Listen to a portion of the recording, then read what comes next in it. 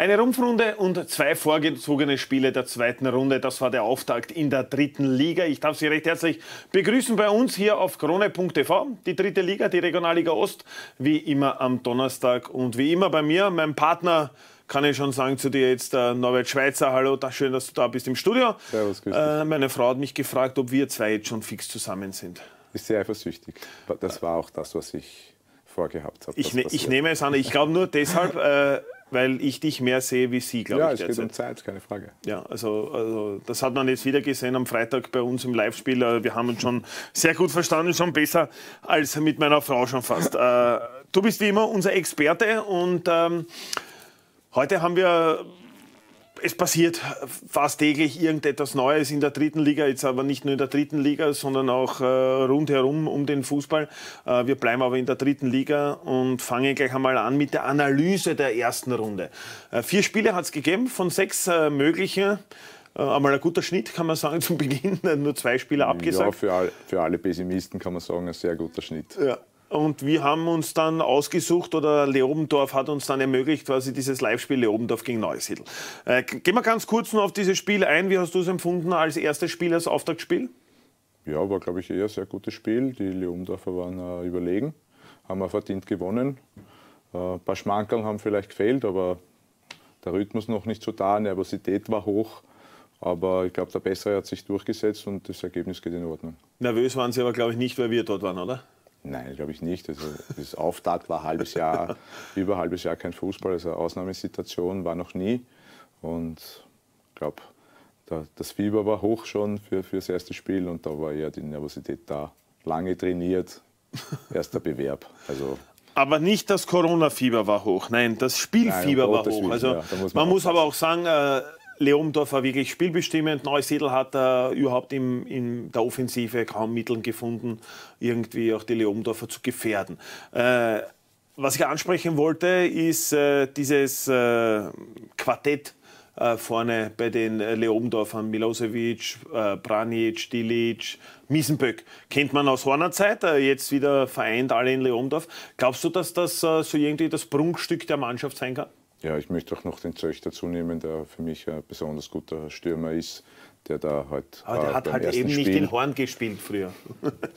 ja, da Zerstörst der Trainer, ganze der Trainer sich vielleicht auf, auf diese Chemie verlassen oder auf, auf, auf, Zeiten, wo sie eingespielt waren oder, oder Spiele miteinander bestritten haben.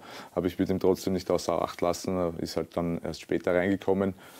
Haben es noch einen im Petto gehabt, aber der gehört auch noch dazu. Von der Qualität her ist er da gleich den, den anderen Vieren.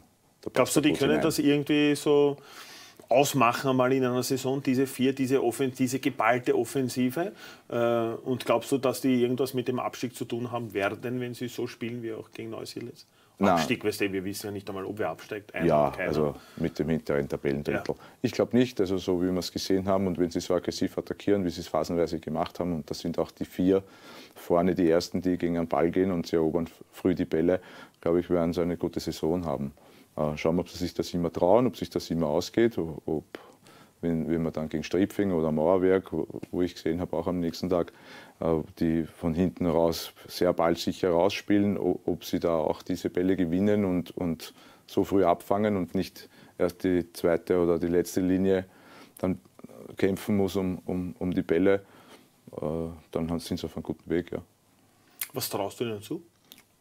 Ja, viel. Ich weiß nicht, ob sie durchhalten. Also so viel. Naja, sind jetzt doch durch die neue Regelung wieder so viele Spiele, fast wie vorher. Aber ich traue ihnen zu, dass sie im vorderen, in der vorderen Hälfte sind, weil so viel sind sie jetzt nicht mehr als früher. Vordere Hälfte ist eigentlich heißt, schon äh, Kann man sagen, dass, sie, dass ne? sie in diesem Meisterplayoff dabei sein könnten oder müssten eigentlich. Könnten oder müssten.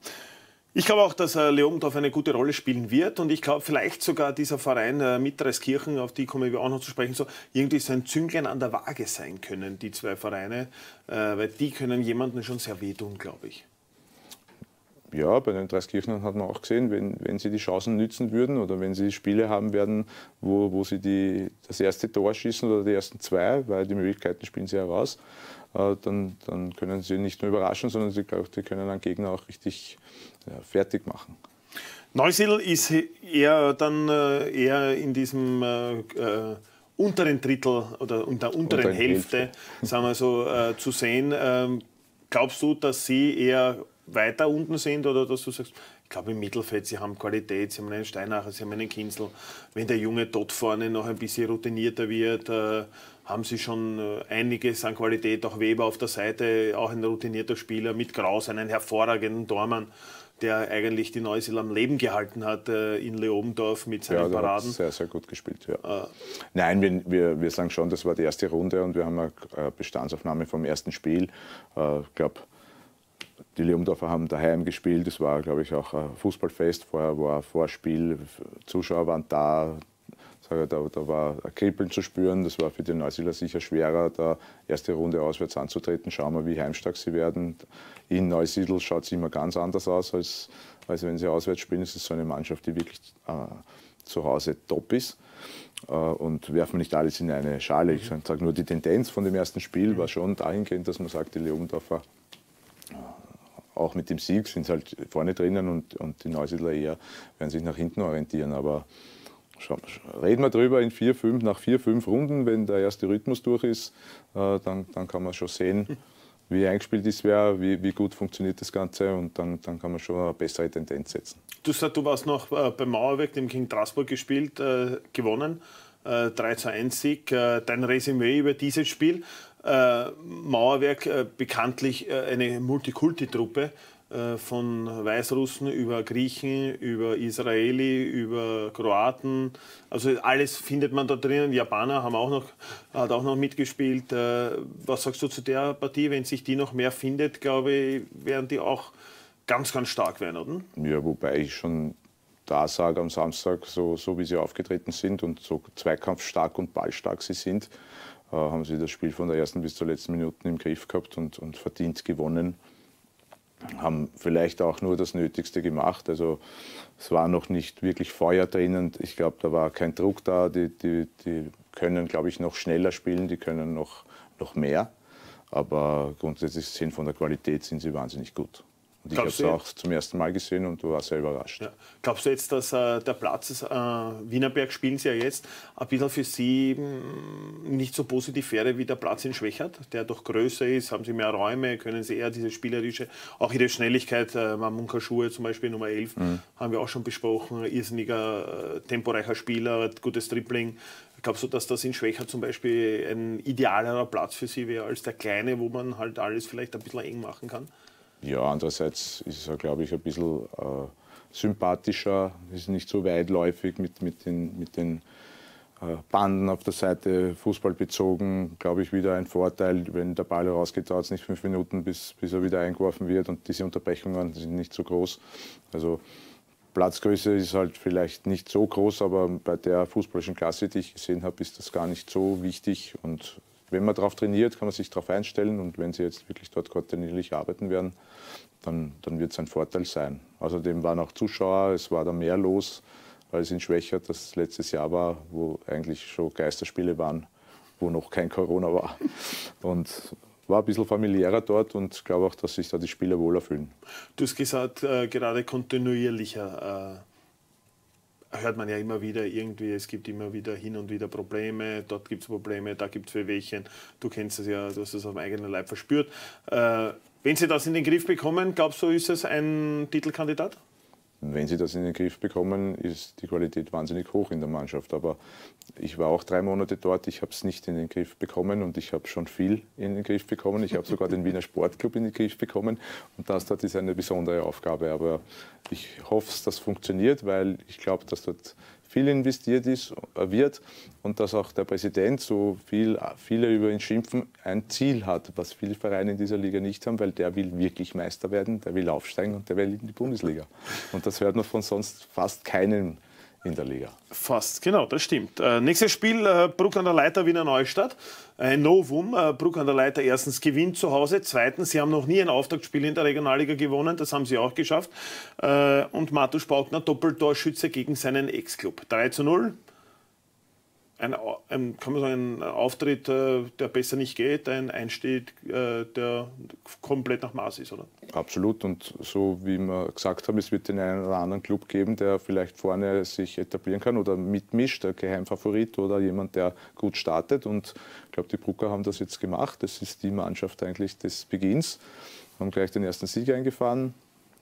Matthias Spaugner hat zwei Tore gemacht, Stürmer geholt, viel Druck gehabt, weil viel von ihm erwartet wird. Der hat das gleich einmal geschafft. Er wird jetzt locker aufspielen und es ist immer gut zu starten, gut fürs Team. Und vielleicht sind das die dann, die da oben mitmischen, mit dem keiner gerechnet hat. Und dann hat es noch gegeben, das letzte Spiel Wiener Viktoria hat mit als Juniors 1 zu 2. Patrick Helmes, erstes Spiel, erster Sieg als Juniors-Trainer. Alex Zirkovic, das Um und Auf gewesen in diesem Spiel, Chance um Chance herausgearbeitet, äh, zwei Tore gemacht und somit auch die Admira zum Sieg geschossen. Was sagst du? Resümee, Toni Polster mit seiner Wiener Viktoria am Kunstrasenplatz entzaubert?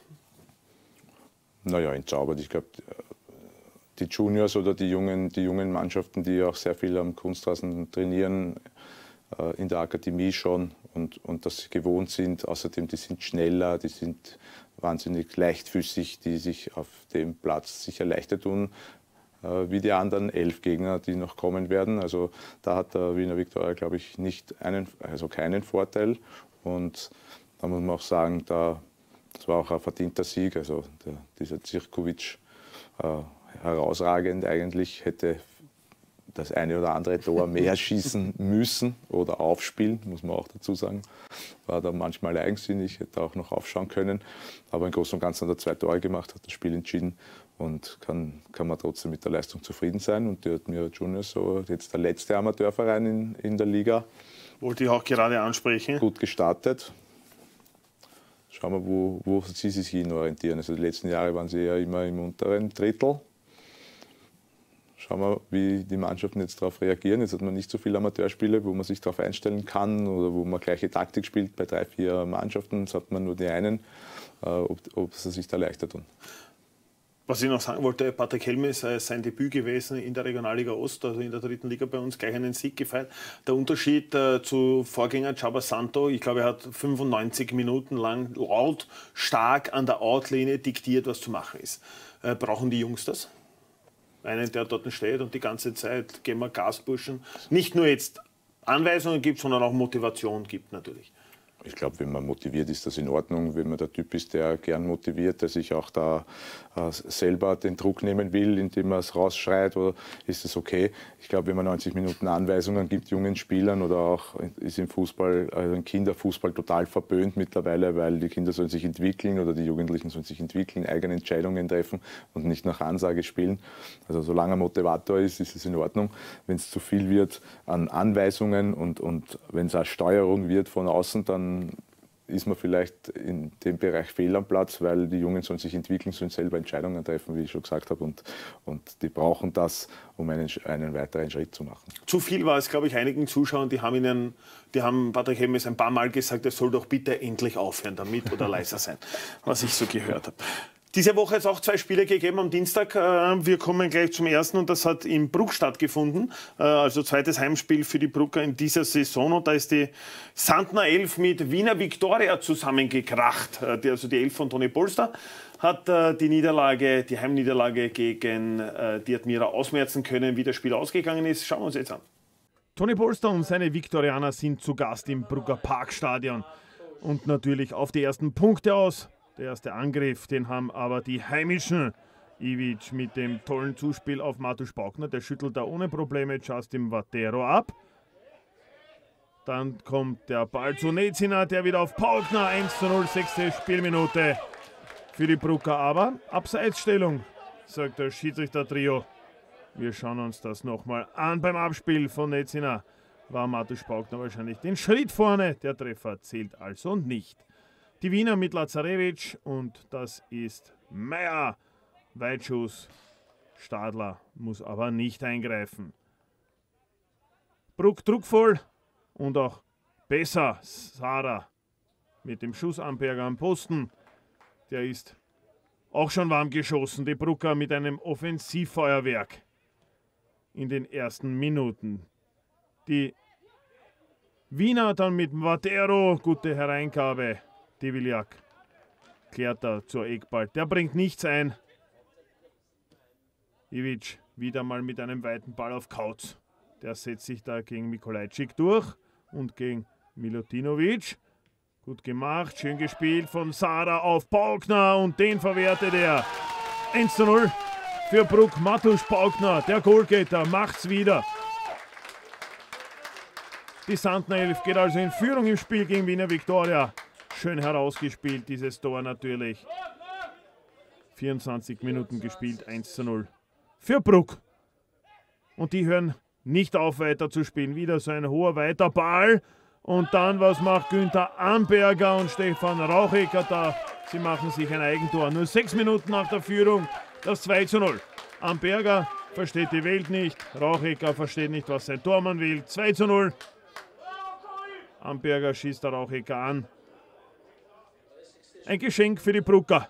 Hätten sie gar nicht gebraucht. Sie waren toll drauf und haben schon etliche gute Chancen auf ein Tor vergeben. Die Sandnelf nimmt es aber trotzdem 2 zu 0, also die Führung nach 30 Minuten und dann bricht Wiener Viktoria komplett weg. Bruck wieder über den ganz starken Kautz mit der Hereingabe und das ist wieder Netziner, lässt den ersten aussteigen und dann wirft sich dann auch Rauchecker in den Schuss. Toni Polster und seine Mannen auf der Bank, die können schon gar nicht mehr hinschauen. Wieder Kautz, der war bärenstark gleich gegen Bazi und Milutinovic. Der setzt sich da toll durch, kann auch nicht gehalten werden. Immer noch Albert Kautz mit der Hereingabe und dann ist es wieder Netziner und Anberger. Toll gehalten, tolle Parade von Günther Amberger. Dann Mikolajczyk mit dem Ballverlust an Ivic. Matusz Baukner gegen Bazi. Immer noch Baukner. Gut gemacht, Matusz Baukner. Wieder Amberger. Da wären aber noch zwei Brucker ganz frei gewesen. Applaus gibt es trotzdem von Mario Sandner. Der sieht einmal einen Angriff von Viktoria, der nicht einmal so schlecht ist. Meier aber dann mit dem verzweifelten Abschluss. Stadler mit der Parade. Toni Polster und seine Mannen, die müssen sich was einfallen lassen in der Kabine. 0 zu 2 steht aus Sicht von Wiener Viktoria. Aber in der zweiten Halbzeit wird es nicht besser. Sarah, unfassbarer Pass auf Kautz, der macht 3 zu 0. Der Deckel ist drauf. 55. Spielminute. Albert Kautz, der Torschütze, nach einem Zuckerpass von Mario Sarah. Per Innenstange keine Chance für Amberger, der schon gefühlte 100 Paraden hingelegt hat in den ersten 55 Minuten. Dann Sarah mit dem Ballverlust, das ist Lazarevic.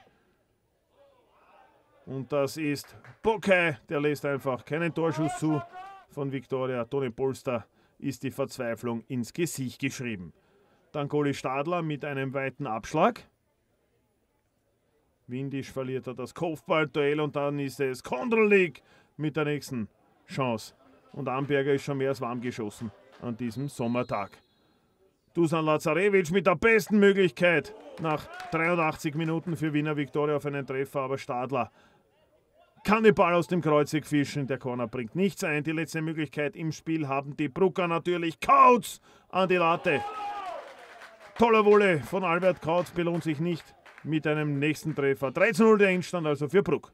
Ja, ein Déjà-vu, oder? 3 zu 0 wieder gewonnen äh, zu Hause unfassbar. Also sie werden jetzt wahrscheinlich noch eine Heimstärke äh, da aufreißen, die Brucker. 6 zu 0 Torverhältnis, zwei Spiele, zwei Siege. Ähm, besser kann man, glaube ich, in keine Saison starten, oder? Ja, war überraschend, aber wie gesagt, das erste Spiel ist schon immer Zeichen. Wir haben das jetzt mitgenommen, haben wieder 3 zu 0 erreicht.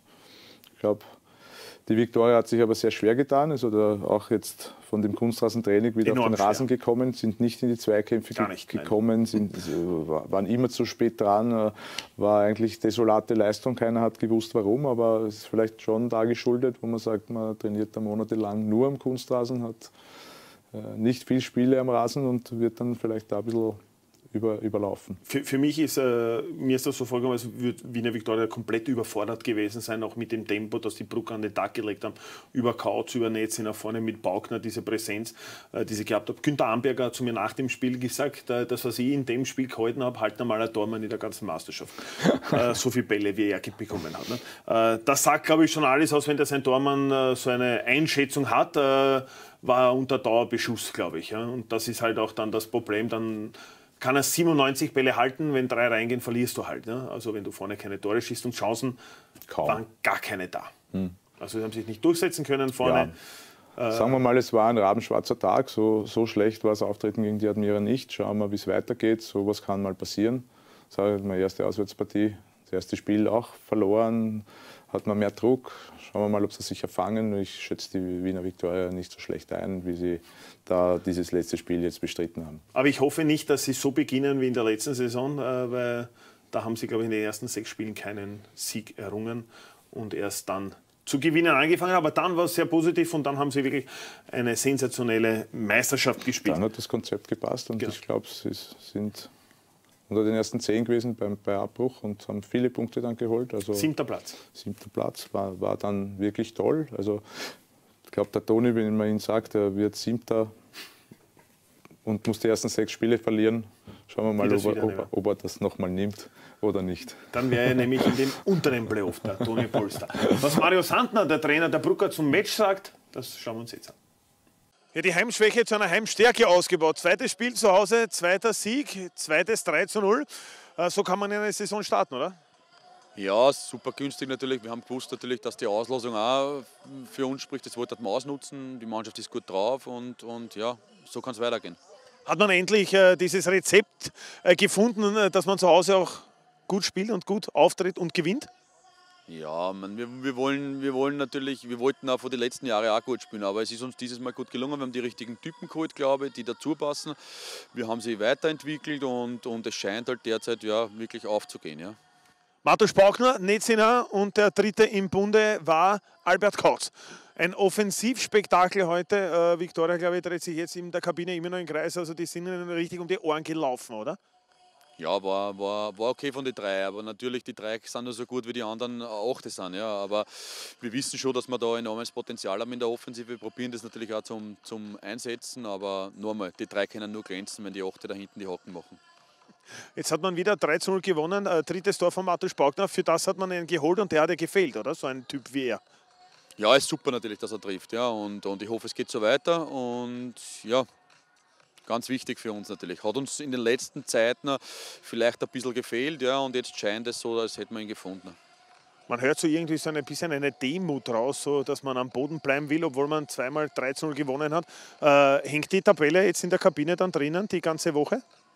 Na, wir wissen schon, wo wir herkommen. Ja. Wir wissen auch, dass das eine Momentaufnahme ist. Ja. Wir werden auch weiterhin demütig bleiben, für das sorge ich auf jeden Fall. Ja. Und ich freue mich wahnsinnig natürlich, dass wir jetzt als Tabellenführer am Sportclubplatz fahren. Ja. Das ist natürlich ein Leckerbissen und sicherlich ein Highlight von der ganzen Mannschaft. Kann man jetzt eigentlich sagen, äh, Bruck hat sich zu einer sehr guten Mannschaft entwickelt äh, und jetzt geht man zu einem Topspiel, oder? Im Wiener Sportclubplatz. Es geht schnell, eine Top-Mannschaft zu sein. Es geht aber auch sehr, sehr schnell wieder eine schlechte Mannschaft zu sein. Nein, wir wissen das einzuschätzen. Wir haben eine ideale Ausgangsposition gehabt, Auftaktprogramm, aber wir wissen auch, es gibt andere Kaliber und, und die kommen jetzt da. Ja, die Brucker und Mario Sandner also auf dieser Welle.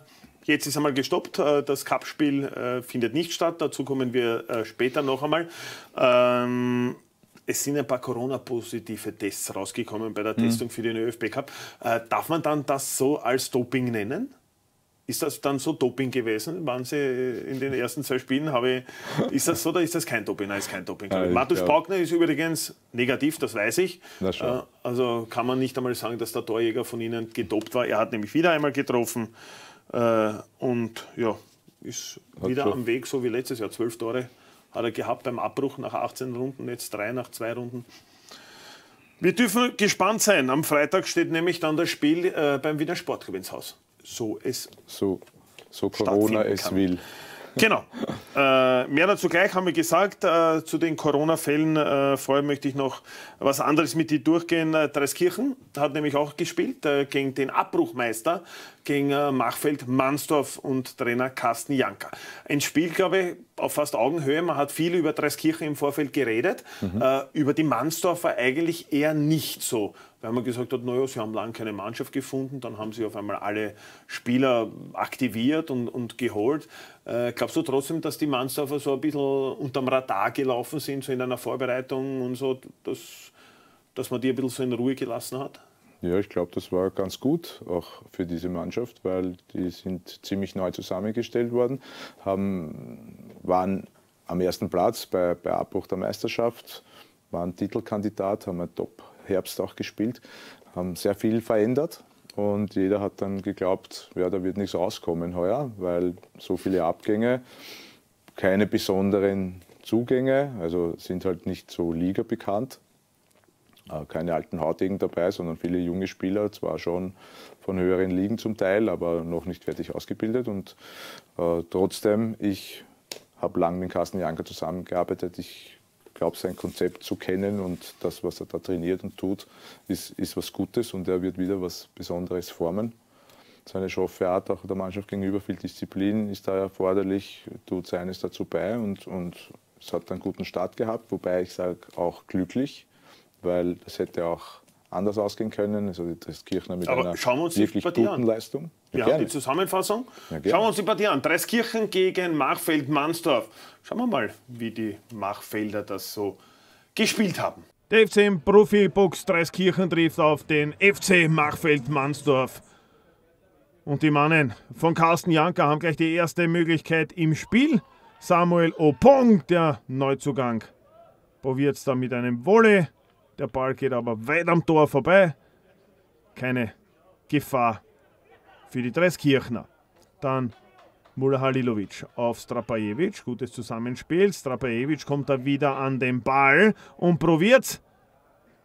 Grischke im Tor von Dreiskirchen am Posten. Kann den Ball parieren. Keine Probleme für den Tormann. Bachmeier Toller, das Trainerduo der Dreiskirchner, sieht die nächste Möglichkeit für die Mansdorfer. Mula Halilovic was der kleine Mann per Kopf. Hinter ihm hätte René Kriwak gewartet. Carsten Janka angespannt an der Outline, immerhin das erste Saisonspiel der Mansdorfer. Die erste Runde wurde ja abgesagt. Dann Nowotny, Foul an Fischauer, der spielt den Freistoß schnell ab und das ist Haas, der umkurvt der Petermann. Aber auf der Linie wird der Ball gerettet von den Mansdorfern. Glanzstart der Janka 11. Haas mit der ersten großen Möglichkeit für die Dreiskirchner der Freistoß, ebenfalls von Haas, eine sichere Beute von Petermann.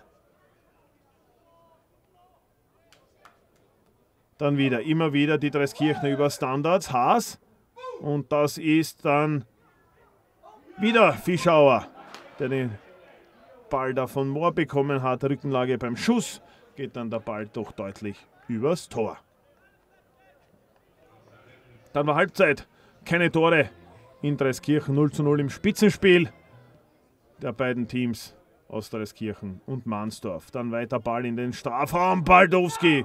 Gut genommen. Direkte Abnahme. Keine Gefahr. Für Petermann, der Ball geht weit drüber. Die nächste Möglichkeit also vergeben. Dann Fischauer. Der wird dann nur halbherzig attackiert von der Abwehr. Der Mahnsdorfer schwindelt sich da durch. Guter Schuss.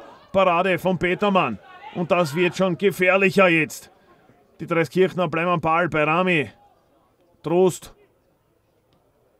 Versuchen es von hinten noch einmal. Mohr im Spielaufbau. Und dann der Weitschuss, der nichts einbringt. Auch der geht am Tor vorbei. Fischauer mit der großen Chance. Er scheitert aber an Petermann und Carsten Janka. Der wird da schon ein bisschen unruhiger, denn die Dreiskirchner, die kommen schon wieder. Wieder so ein weiter Ball in die Spitze. Baldowski der probiert es aus der Drehung. Da haben nur Zentimeter gefehlt bei der Chance von Mario Baldowski, dem slowakischen Legionär im Dienste der Dreiskirchner. Und Bachmeier zeigt Zahnburschen, wir wollen weiter offensiv spielen. Aber die nächste Möglichkeit haben die Mansdorfer. Strapajevic, weiter Ball auf Obong. Grischke kommt da raus. Aber Obong, was macht er? Einen Schupfer aus der Distanz, genau ins Kreuzig. 1 zu 0 für die Gäste. Machfeld Mansdorf geht in Führung in Dreiskirchen. Samuel Obong mit dem Geniestreich. Herrlich gemacht. Dieser Schupfer da ins lange Kreuzeck. Die Anke 11 geht also in Führung. 59 Minuten sind hier gespielt. Ja, Tore, die man nicht macht, die bekommt man meistens. Ein altes Fußballersprichwort. Und das können die Dreiskirchner schon auswendig, weil da ist schon wieder Haas die nächste Möglichkeit, die Petermann zunichte macht. Guter Pass von Trost war das. Patrick Haas. Da gibt es noch Applaus für den Pass von Trost. Die nächste Chance. Hier. Elfmeter der Freistoß. Strapajevic. Falter Viehschauer. Die Dreiskirchner wollen natürlich Elfmeter. Strapajevic einmal gelb. Es gibt nur Freistoß. In der Wiederholung schauen wir uns das nochmal an. Eine ganz knappe Entscheidung. Elfmeter oder nicht. Der Schiedsrichter hat Freistoß gegeben. Der hat dann nichts eingebracht. Wir sehen da hier nochmal das Foul. Machen Sie sich selbst ein Urteil. Linie gehört zum 16er. Wenn er draußen war, dann war es eben nur ein Freistoß. Dann wieder Fischauer, der bombenstark unterwegs war in dieser Partie. Bei Rami. Wieder Petermann. Endstation. Guter Schuss von Elis Barami. Fischauer bekommen die Mansdorfer da gar nicht in den Griff. Und die Zeit, die verrinnt. Baldowski, guter Einsatz auch. Hier bei Rami. Und dann kommt Radko Polic angerauscht und fault Fischauer. Das ist rot. Das ist schon fast eine Tätlichkeit. Vom Mansdorfer. Der gut bedient mit Gelb. Schauen Sie sich dieses Foul an. Nur auf den Standfuß Fischauer. Kastnianka entschuldigt sich schon fast bei den Dreiskirchnern für dieses rüde Einsteigen von Radko Pulic, der mit Gelb noch gut bedient war. Mohr, die Dreiskirchner, die wollen den Ausgleich, Baldowski. Fischauer, der Ball ist immer noch heiß. Fischauer. Aber dann doch gut und gern 3-4 Meter am Tor vorbei. Florian Fischauer, Dreh- und Angelpunkt im Spiel der Dreiskirchner. Was machen die Mansdorfer? Muller Halilovic zu Pesel, 2 zu 0, danke. Schaut her, so einfach geht das. Dreiskirchen.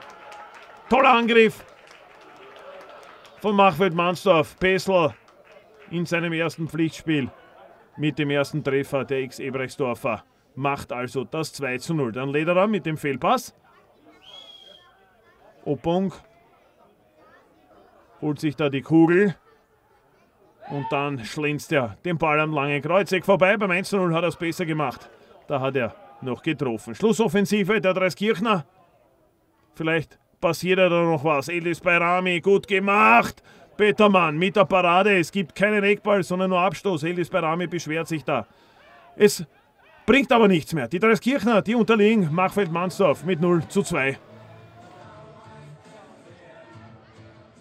Ja, die Dreiskirchner sind wieder mal an der Chancenauswertung gescheitert. Äh, die Mahnsdorfer haben eine gute Chancenauswertung an den Tag gelegt, 2 zu 0 damit auch gewonnen.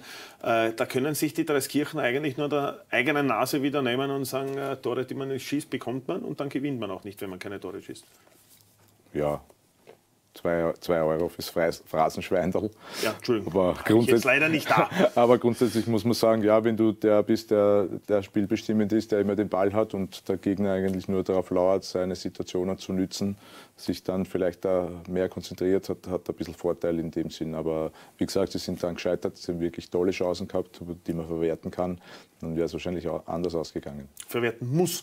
Zwei Szenen, äh, zwei strittige Szenen, die vielleicht auch ein bisschen äh, so waren, die das Spiel auch entschieden haben. Äh, wollen wir uns kurz einmal rausnehmen. Das erste war eine Elfmetersituation. Äh, äh, Andreas Stapajevic äh, fault einen Dreiskirchner auf der Strafraumgrenze, außerhalb von Strafraum, ganz knapp zu entscheiden. Äh, der Schiedsrichter hat entschieden auf Freistoß. Hm.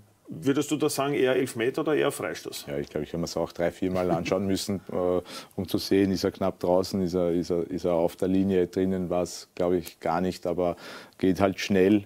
Äh, die gelbe Karte finde ich als richtig von der Entscheidung her, weil der Spieler wirklich den Ball spielen wollte und, und, und keine Foulabsicht dabei war und deswegen. Aber Elfer oder, war. Elfer oder Freistoß? Wenn man es sich nachher anschaut, war es auf der, wirklich auf der, auf der Linie, dann ist er im Strafraum, ist Elfmeter. Aber, aber schwer zu entscheiden, glaube ich. In schwer zu entscheiden, es ist schnell gegangen, dann steht das Spiel auch fast einen, Meter außerhalb, wo, wo er mit seiner Bewegung fertig ist und, und, und dann schaut der Schiedsrichter dann hin und dann hat dann halt außerhalb gegeben. Ich glaube aber sonst war es eine sehr gute Leistung vom Schiedsrichter. Also der ist Eine Situation nicht unbedingt schuld an, an, an, den 90 ganzen Spielminuten. Nein. Also die Leistung war in Ordnung. Also ich glaube nicht, dass man da viel kritisiert, aber zwei Entscheidungen waren dabei. Und die zweite war. Gelbe Karte oder rote Karte? Foul von Radko Bulic an äh, Florian Fischerauer. Beide gestreckte Beine in einer hohen Intensität äh, würde man eher wahrscheinlich eine rote Karte nehmen, oder? Als eine gelbe. Ich würde sagen, da hat die Farbe der Karte nicht gestimmt ja, kann, kann, kann man sagen, kann man nicht sagen. Der Schiedsrichter hat so entschieden, jetzt können wir lang darüber diskutieren. Äh, ich bin eher der. Ich sehe das mit dir, kann ich das nicht. so mit dem Flo Heidvogel ist das so gegangen. Wir haben ja immer diese Schiedsrichter-Situationen, die ja, hat er halt gegeben. Naja, ich sehe es dann über, über das ganze Spiel und nicht nur diese, diese Entscheidung hat das Spiel entschieden. Also die Dreiskirchner haben so viele tolle Tormöglichkeiten gehabt, hätten sie drei reingeschossen, würden wir darüber gar nicht sprechen. Oh ja. Und würden wir. Ja, aber dann, dann, dann wäre es vom Ergebnis her egal. Jetzt möchtest du haben, dass du sagst, es war entscheidend, dass die nein, ich, Mach ich möchte gewonnen sagen, haben. Das, nein, nein, aber überhaupt nicht. Es ist nicht, nicht so tragisch in, in diesen Situationen, also vor allem diese zwei Situationen. Der erste war wirklich schwer, da wäre es ein Elfer gewesen, aber. Und das wäre der Ausgleich gewesen, vielleicht zum 1 zu 1. Natürlich. Also da kann man ein bisschen, Frage, aber das ja. sind immer ein paar strittige Szenen in einem Match. Aber sind wir froh, dass es solche Situationen gibt, sonst hätte man nichts zu tratschen und dann so hätte man nichts zu ärgern und dann hätte man nicht den Fußball, den wir haben. So ist es. Norbert, wir kommen gleich wieder. Wir machen eine kurze Werbung und sind gleich wieder da äh, mit dem zweiten Teil der dritten Liga bei uns auf krone.tv. Wir sind wieder zurück hier in der dritten Liga bei uns auf Krone TV. Norbert Schweizer ist noch nicht gegangen. Ich habe ihn nicht zu so sehr kritisiert jetzt, dass er ah. mit den Schiedsrichtern so, so, so liebevoll umgegangen ist. Wir haben die Spiele besprochen. Wir haben äh, die erste Runde besprochen. Wir haben die Spiele der zweiten Runde besprochen. Ähm, einige Spiele stehen wieder am Wochenende vor der Tür. Keine Meisterschaftsspiele, sondern Spiele des ÖFB Cup. Ob die jetzt spielen oder nicht, werden wir gleich durchgehen. Äh, es gibt ein paar Paarungen mit Ostligisten am Programm. Das erste ist aus der Lustenau Stripfing habe ich hier grün, das heißt, sie spielen.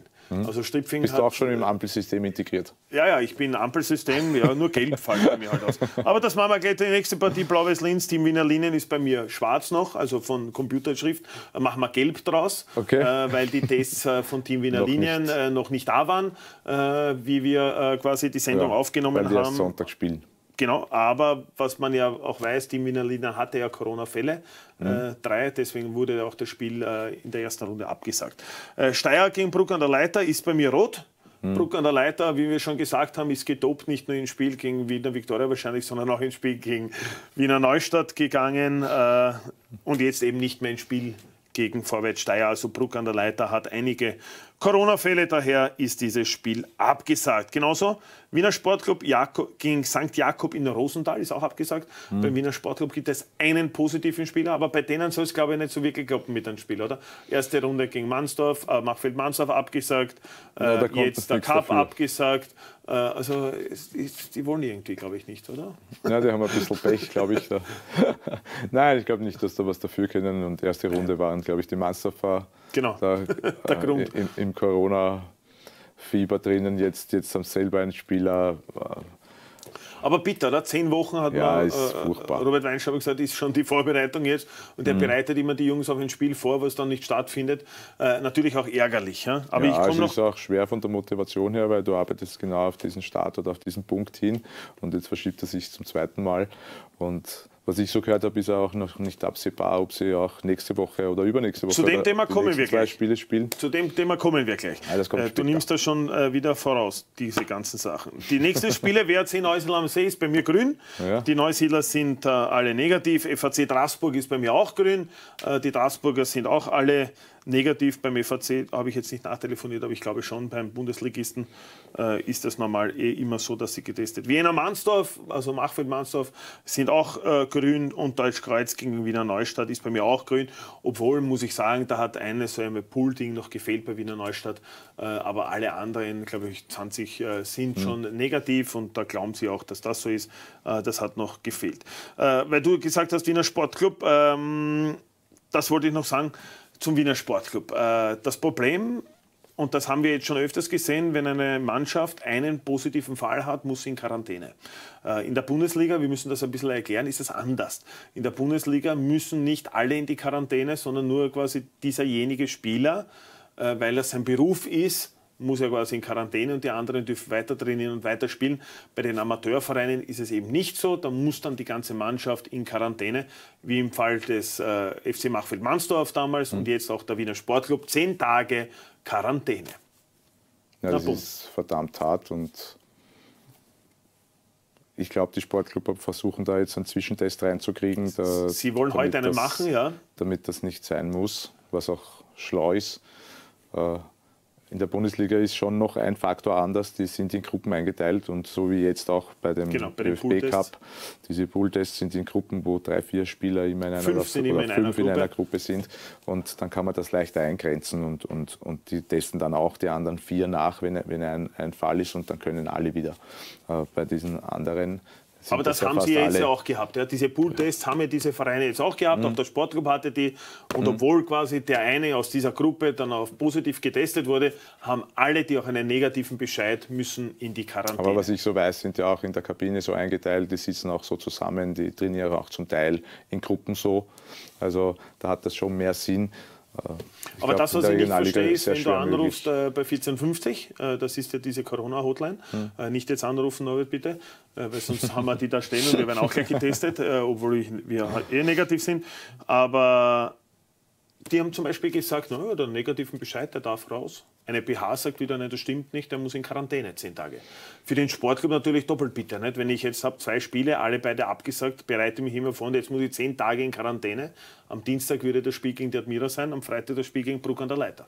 Es kann dann sein, dass beide nicht stattfinden und dass der Trainingsrückstand da ist, dass der Rhythmus weg ist. Aber es ist Corona und wir können sich gegen diese Bestimmungen nicht wehren. Ich hoffe, dass sie alle auch wirklich sinnvoll sind und, und, und gut für die Menschen. Aber wir können jetzt halt diskutieren, ob das gut, schlecht, falsch oder richtig ist. Das wird uns nichts bringen. Die müssen in Quarantäne, die dürfen nicht raus und die dürfen nicht spielen und, und Zuschauer können noch so viel raunzen, wenn es nicht stattfindet, kann man da nichts machen. Es ist halt ein Paragraphen- und Behördenweg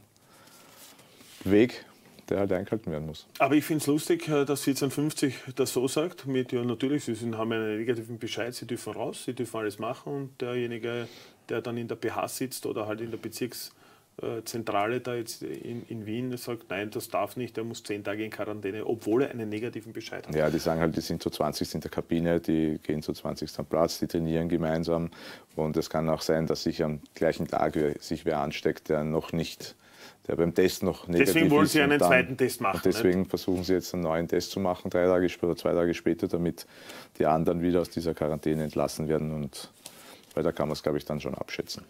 Wir haben eine neue Rubrik bei uns in der dritten Liga. Äh, wir kennen sie noch aus unseren aktiven Zeiten. Warst du wahrscheinlich öfters wie ich dabei. Äh, ich kann mich nur einmal daran erinnern, äh, das ist mir ein Gedanke geblieben, dass ich dort dabei war. Da habe ich gegen Rapid gespielt damals. Drei Tore geschossen, zwei richtig, eins falsch. Äh, also die Rubrik heißt Männer, über die man spricht.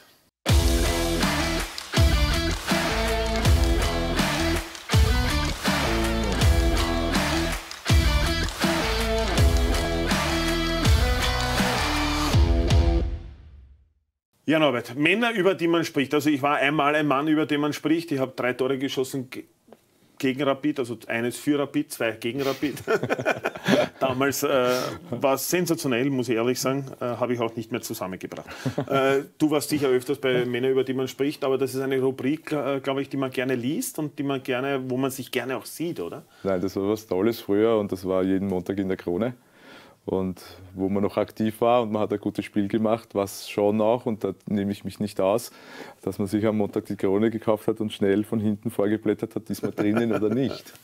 Es waren immer nur vier Plätze. Es nur vier Plätze gegeben äh, für, für zwei Ligen, weil da war die Wiener Liga und, und die Regionalliga mit, mit einbezogen. Und wenn man dann da drinnen war, war man schon ziemlich stolz. Stolz waren wir, genau. Ja, ja. Wir haben auch äh, jetzt ein paar Spieler, die man vor den Vorhang nehmen äh, müssen, sollen, tun, werden. Da, also die Männer, über die man spricht, natürlich äh, jetzt nicht in der Reihenfolge 1, 2, 3, 4, wir haben das bunt gewürfelt. Ja.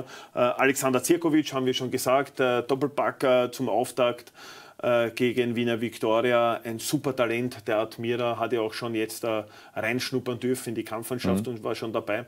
Ähm, glaubst du, dass er eine mhm. gute Zukunft vor sich hat? Ja, wenn er weiter so macht und, und wenn er Gas gibt, es geht nur um die Einstellung, das andere bringt alles mit. Wenn er den Rhythmus schafft, weiter zu, zu tun und wenn er sich nicht wehtut, dann ist natürlich alles drinnen. Da ist der Weg in die Bundesliga offen. Noch ein Spieler, über den man spricht. Matthäus Paukner natürlich. Ne? Dreifacher Torschütze jetzt. Äh, der Brucker. Haben, hat den Bruckern so ein Spielertyp gefällt, der ja. quasi Tore schießt? Jeder Mannschaft fehlt, wenn, wenn, sie keinen haben, so ein Typ. Und er ist ein guter Neuner. Er ist immer, früher haben wir gesagt, er ist ein Abstauber. Ja, das macht er gut, er ist ein guter Strafraumspieler und wie gesagt, jetzt am Anfang ist ihm gleich gelungen. Jetzt schauen wir, was er zusammenbringt. Und er hat jetzt jedes Jahr, wo er in der Liga spielt, war er ganz vorne dabei in der Torschützenliste und er ist schon seine Qualität und ein Garant für, für viele Tore. Auch in Horn natürlich war er, glaube ich, Torschützenkönig sogar. Ja. Äh, der dritte im Bunde, kein Stürmer, kein Offensivmann, Martin Kraus. Also der Krakenmann im Tor der Neusiedler. Oder manchmal denke ich mir, der hat, glaube ich, sechs Arme, vier Beine oder so, was der alles raus hat. Das ist unpackbar, so wie den Schuss von Miesenberg, glaube ich. Erste Halbzeit mit einer Handabwehr war unfassbar. Ja, wahnsinnig, wahnsinnig schnelle Reaktion hat er und äh, in dem Spiel hat er wieder ein paar wirklich tolle Schmankerl drinnen gehabt. Es ist immer sehr actionreich, wenn, wenn er sich auf der Linie bewegt. Und äh, war man eh begeistert auch beim Zuschauen und da gehört er rein diese Woche. Ja. Männer, über die man spricht, Martin Kraus. Mamunka Schua vom FC Mauerwerk haben wir auch dazu genommen. Mhm. Äh, ein Mann mit unfassbarem Speed, mit äh, Skills, mit Tricks, alles. Ich meine, er hat jetzt kein Tor geschossen, er hat aber einen Elfer rausgeholt mhm. und hat äh, quasi die Straßburger regelrecht schwindlig gespielt, glaube ich, da hinten. Erste Halbzeit nicht so, aber zweite Halbzeit ja. hat er dann aufgedreht. Ja, man, man sagt auch so, ähm, er ist immer dann besser, wenn die Spieler müde werden, die Gegner. Dann fängt er an zum Spielen. Ja, ich glaube eher, dass wenn der Gegner dann ein bisschen aufmacht und, und im Rückstand ist und dann versucht noch auszugleichen oder ein Tor zu machen oder wieder ranzukommen, dann sind mehr Räume da in, in, beim Gegner und dann kann er seine Schnelligkeit und dann kann er auch sein, seine Dribblings und also, also, also ich habe dann auch in der zweiten Halbzeit gesehen, ein fantastischer Spieler, der kann da durchbrechen, der hat eine besondere Qualität. Ja. Das Einzige, was gefehlt hat, war der Abschluss. Er hat schon die Möglichkeit gehabt, drei oder vier Tore zu machen, hat es versemmelt. Aber dorthin zu kommen, also da muss man sagen, toller Körper, also auch sehr robust und wahnsinnig schnell und technisch hervorragend. Sein quasi Klon äh, gibt es ja schon im Mauerwerk von ihm, das ist Famus Mendy. Äh, auch Anlagen, unfassbare erste spanische Liga gespielt gegen Barcelona, so. aber halt nur, wenn es ihn freut, oder? Der ist ja auch so körperlich stark, robust, technisch gut, irrsinnig schnell. Also eine Flügelzange, so Mandy Kaschoa, wenn es beide freut? Na, wenn sie beide wollen, so wie du sagst, wenn sie freut oder wenn sie fit sind oder wenn sie von der Mentalität bereit sind, Gas zu geben, äh, vielleicht die, die wirklich qualitativ hochwertigste in der Liga. Da kann sich der Martin Kraus wahrscheinlich im Tor der Neusiedler anhalten, wenn diese kommen. da braucht er wieder seine Kragen. Aber sie sind beide nicht berühmt, dass sie da, viele sie Tore sind, schießen. Nein, also. Das stimmt, ja. Das wollte ich auch noch sagen. Äh, das letzte Mal, wo Mendy das perfekt bewiesen hat, dass er kein Torjäger war, war in Stripfing, wo er aus 15 Meter das leere Tor nicht getroffen hat. Ne? Äh, und alle haben... 15 Zentimeter. 15 Zentimeter. Was, das eh, wir wollen ihm nicht so in die Pfanne ja, hauen. Nein, nein. Äh, der fünfte im Bunde dieser Rubrik Männer, über die man spricht, natürlich Miroslav Milosevic. Äh, Miro war quasi Taktgeber, war Dreh- und Angelpunkt im Spiel der Leomdorfer, auch der Goldtorschütze. Ganz wichtiger Spieler, oder? Für die Leomdorfer. Ja, ich glaube, der routinierteste in der Liga mit seinem Know-how, auch seiner körperlichen Präsenz und so. Nicht nur bei den Torchancen, auch wie, wie er mitkreiert und wie er die Bälle halten kann und wie wenig Fehler er macht im Spiel. Er ist schon der Dreh- und Angelpunkt gewesen in Leomdorf und sollte fit bleiben. Und so wie es ausschaut, ist er noch ehrgeizig genug in seinem Alter. Äh, ist eine wahnsinnige Bereicherung für die Liga und hätte auch noch weiter oben weiterspielen können. Mhm. Das waren also die Männer, über die man so spricht oder auch wir sprechen. Äh, die anderen waren natürlich auch nicht schlecht, aber die haben wir uns jetzt rausgepickt. Äh, eines wollte ich auch noch sagen: äh, Tor der Runde hätten wir normal immer aber wir tun uns jetzt relativ schwer, genauso mit einem Team der Runde aufzustellen. Wenn immer zwei oder drei Spiele fehlen, äh, wollen wir das nicht machen. Aber wir werden das nachholen, sobald alle Tore äh, dieser äh, Runde, zum Beispiel der ersten Runde oder auch alle Spiele der ersten Runde äh, absolviert waren, wird es ein Tor der Runde und wird es ein Team der Runde geben. Also auch das werden wir natürlich nachholen. Wir haben uns das natürlich alles notiert, wer die guten Spieler waren mhm. und äh, wer die schönen Tore geschossen hat. Schauen wir mal, wie lange das dauert. Dass, dass, dass, wann die erste Runde ist, wo, wo alle Spiele stattfinden, weil vielleicht machen wir doch noch ein Tor der Woche. Ja, schauen wir mal. Oder ein Tor des Jahres nur oder so. Ne? Äh, das ist dann vielleicht leichter. Norbert, ich sage danke mal, aber am Dienstag äh, sollen ja, soll ja schon wieder eine Runde stattfinden, nämlich die mhm. restlichen Spiele der zweiten Runde. Aber eines ist schon wieder verschoben. Team Wiener Linien gegen Mauerwerk findet erst am 8. September statt, da ja das Team Wiener Linien Cup spielt am Wochenende bei Blau-Weiß Linz. Die restlichen Partien, so, sofern sie stattfinden, Admira Jones gegen Wiener Sportclub Straßburg, gegen Leobendorf und Wiener Neustadt gegen Neusiedl am See. Was machst mhm. du am Wochenende? Welches Spiel? ÖFB Cup oder alle zu Hause vorm Fernseher und ich glaube, den ÖFB Cup mal alle zu Hause am Fernseher wirklich auf die Plätze gehen, darf man eh nicht. Also sind wir eh mehr oder weniger gezwungen, dass wir sich zu Hause anschauen. Aber ich glaube, es sind viele gute Spiele dabei und vielleicht gibt es eine Überraschung. Vielleicht schafft der Drittligaverein äh, den Aufstieg in die nächste Runde und knackt ja, wem. Neusiedl hat letztes Jahr die Admira rausgehauen. Jetzt spielen sie beim WRC. Ja, der WRC aber auch gegen Victoria, glaube ich mal, gescheitert. Hartberg. Hartberg war das. Hartberg, also, Entschuldigung, aber trotzdem, es ist immer was drinnen, was möglich. Schauen wir, ob es Überraschung gibt. Würde uns freuen, wertet unsere Natürlich. Liga auf. Und ist auch für die Spieler immer äh, besonders, äh, gegen einen Bundesliga-Club zu spielen. Bundesligisten und Europacup-Starter, wie ja. erzählen. Das kommt ja auch noch dazu. Ähm, ja, ich kann nur mal Danke sagen äh, und wir gratulieren einem Spieler noch ganz recht herzlich. Er war in unserer Liga Torschützenkönig. Ercan Kara gestern das Goldtor oh. geschossen für Rapid äh, und den Millionenreigen quasi für die Hütteldorfer aufgemacht. Also Gratulation nochmal Ercan Kara. Äh, unser Torschützenkönig kann auch in der Champions League treffen, in der dritten Liga. Da sieht man, mhm. so knapp ist das beisammen. Vor, noch Torschützenkönig äh, beim Mauerwerk gewesen, in Horn gut gespielt und jetzt äh, spielt er Champions League bei Rapid. Ja, man soll es nicht unterschätzen. Also die, der, der, Weg ist immer offen nach oben und es ist nicht so, dass man, wenn man mit 21 es noch nicht geschafft hat, raufzukommen, dass man, dass man aufgibt. Es ist halt dann schwieriger. Viele Spieler suchen sich dann einen Beruf, äh, sind dann abgelenkt, nicht mehr so fokussiert, haben auch die Zeit nicht mehr professionell, so professionell zu trainieren, dass sie sich äh, nach oben weiterentwickeln. Aber wenn man Mut hat, wenn man, wenn man einen Willen hat, und so der Yachankara zeigt das vor, dass man mit 23, 24 dann zu, nicht zu irgendeinem, sondern zu einem Top-Club in Österreich wechselt, halbes Jahr Gas gibt, trainiert, was man kann und dann äh, den, den renommierten SK Rapid Wien in die Champions League Quali schießt. Also Hut ab vor ihn und äh, finde ihn auch sehr sympathisch und freue mich wahnsinnig, dass er das schafft. Also Gratulation Erdschan nochmal. Wir zwei werden es jetzt nicht mehr in die Champions League schaffen, mit der Rapid schon gar nicht. Äh, ich darf mich bei Ihnen verabschieden und sage danke fürs Einschalten bei uns bei der dritten Liga, hier bei uns auf Krone TV und Norbert Schweizer. Danke nochmal, dass du bei uns warst und wir freuen uns schon aufs nächste Live-Spiel. Danke und auf Wiedersehen. Bis zum nächsten Mal am Montag.